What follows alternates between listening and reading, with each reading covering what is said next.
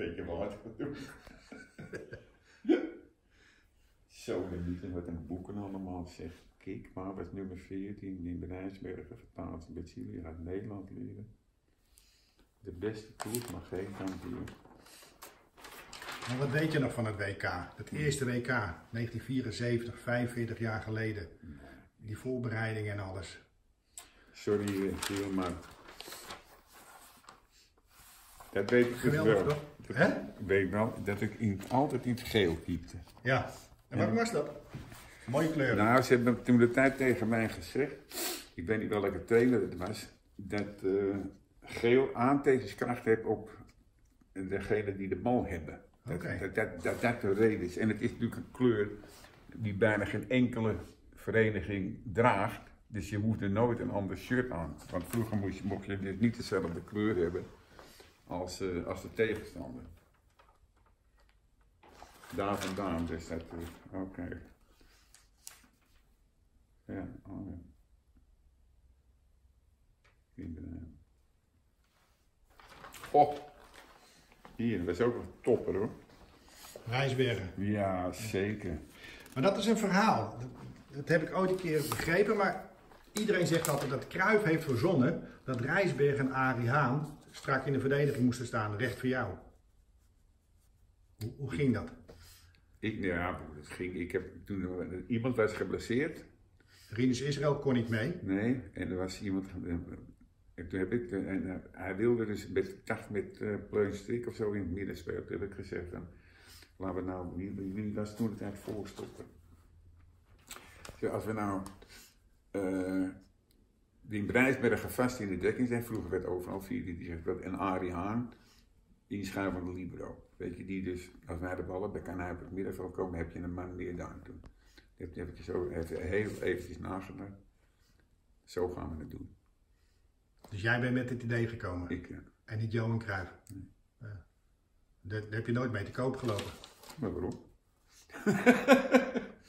ik liep nergens mee te kopen. Nee, maar het was een hele tactische omzetting, waardoor het ineens allemaal ging lopen. En, en Nederland, uh, ja, uh, Orange Mechanica werd genoemd in het buitenland ja, en jullie een grote naam uh, maakten. Ja, dus het is gedeeltelijk aan jou te danken. Ja, dat klopt. Dat is ook zo. Maar goed, dan loop, waarom zal ik dan mee te koop gaan lopen? Ik nou ja, omdat van een keeper vaak wordt verwacht dat hij de bal moet tegenhouden en meer niet. Maar dat was jij niet. Nee, ik was, ik was een, noemen, een, een, een meevoetballende keeper, maar ik ben zelf altijd linksbuiten geweest. Dus ik wist heus wel hoe je moest, uh, hoe je moest voetballen. Ja. Nou spelen zondag die vrouwen. Sari van Veenendaal staat uh, op het doel. Heb je haar wel zien keeper? Ja, ja. En wat vind je van haar? Ik vind het goed. Ja, zeker. En ik moet eerlijk zeggen, ik, uh, ik kijk er ook naar. Ik, bedoel, ik heb niks tegen vrouwenvoetbal. Ik heb wel eens, ga naar eens vrouwenhandbal kijken. Ik heb ook nog, zaal, nog zaalhandelkeeper. Ja. Maar gaan we eens kijken hoe hard die meiden zijn. Dus dat, uh, nou, ik, ik vind uh, vrouwen kunnen net zo goed voetballen als mannen alleen. Ja. Wij mannen zijn fysiek natuurlijk veel beter. Dus een vrouw of elf als ze dus bijna nooit van een man elf kunnen winnen. Dat is logisch, dat lijkt me logisch in ieder geval. Maar op zich vind ik het prima dat dames voetballen. Ja, en ze hebben al een prijs gewonnen, hè? Uh, Europees kampioen. Nu staan ze in die finale tegen, tegen de Verenigde Staten. Ja. Heb jij een tip voor Sari van Veenendaal? Nee, zij zal het zelf wel goed weten hoor. Maar jij hebt twee keer uh, meegemaakt, je ja, hebt ervaring, maar, Duitsland en Argentinië. Ja, nou het enige wat je moet doen is niks veranderen met hetgeen wat je altijd doet. Dus nou niet speciale druk op zo'n ploeg leggen omdat ze naar de finale gaan. Gewoon datgene zo benaderen als je iedere wedstrijd hebt benaderd. En voor de rest niks. Gaan we iets leuks doen. Om Ontspannen. De, om de spanning ervan af te halen. Ik weet niet of ze vist, maar dat zou een goede aanrader zijn. Ja, bijvoorbeeld zijn lekker rustig ook, ja. En, en lachen, kan elkaar in het water gooien, dat is ook wel weer ja. lekker. Ja, ontspanning, hè, dat is Moet het. je niet in de snelstromende rivier doen natuurlijk. nee, dat moet gewoon datzelfde doen wat je altijd gedaan hebt. Wat je van het begin af altijd gedaan hebt. Voor de gewoon niks anders doen. Kijk, die meiden voelen zelf die spanning wel dat ze de finale halen. Dat, dat voelen ze zelf, dat hoef jij niet te benadrukken. Dus gewoon de spanning eraf halen en gewoon datgene doen wat je, wat je dus eigenlijk altijd doet. En, en, en dan maar hopen dat, je, dat ze hun stinkende best doen. Nou, dat lijkt me logisch als je in een WK-finale speelt, dat je je stinkende best doet. En genieten? Proberen te genieten?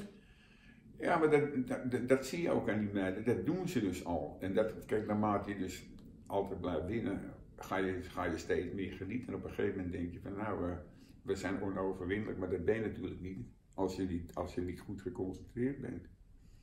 Dus waarom, waarom moet je er niet van genieten? Het is toch zo? Ja. Je speelt, kijk, je speelt ook, ik weet niet of ze, krijgen er ook geld voor. Maar je speelt eerst voor je plezier. En dan is het blij zijn als je gewonnen hebt dat je er geld voor hebt gekregen. Heb je nog een tip? Nee. Nee, ik, dat en wat denk je dat het wordt? Ik, ik hoop, ik, dat weet ik niet, ik hoop dat ze winnen.